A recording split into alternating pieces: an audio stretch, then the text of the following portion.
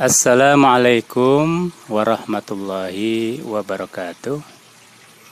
Saya Muhammad Mustafa ABN, Ketua MUI Kota Bogor. Dengan ini mengingat situasi dan kondisi yang semakin kritis, yaitu apalagi dengan akan diterapkannya PSBB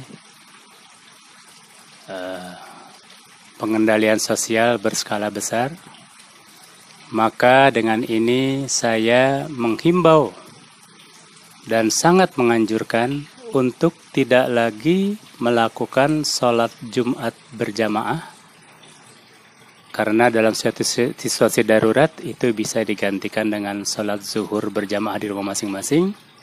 Dan begitu pula dengan sholat-sholat lima waktu lainnya bisa sholat berjamaah dengan keluarga masing-masing di rumah.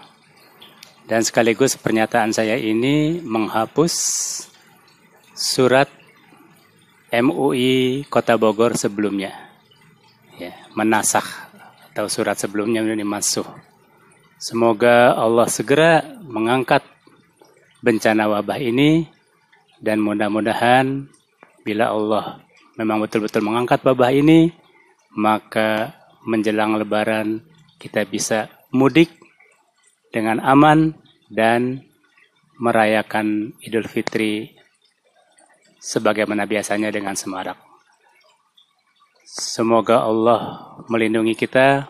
Allahumma dfa'anna ta'na wa ta'una wal waba wallahu al muwafiq ila qawmi Wassalamualaikum warahmatullahi wabarakatuh.